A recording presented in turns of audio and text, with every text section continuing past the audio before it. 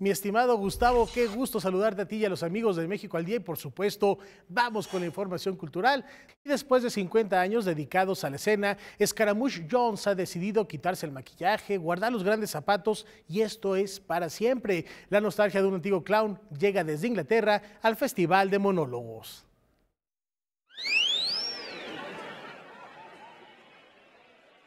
Un payaso ofrece su última función y se retira a su camerino. Es casi el final de 1999. Falta una hora para que cumpla 100 años.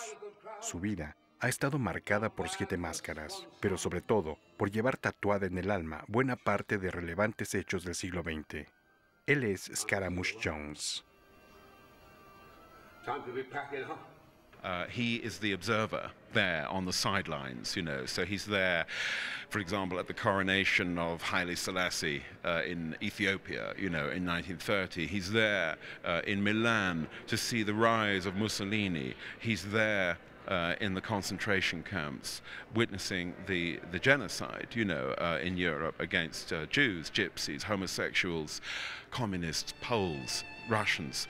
And at the edge of the the graves at the edge of the pits, where he's digging these pits and waiting to put the lime on these bodies, and children are being lined up to uh, be to be shot.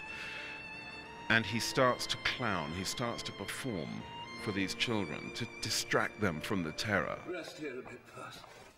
Bien decía Juan de Dios Pesa, en esta vida aprendemos a reír con llanto, pero también a llorar a carcajadas. Hasta aquí la información, muchas gracias, muy buenas noches.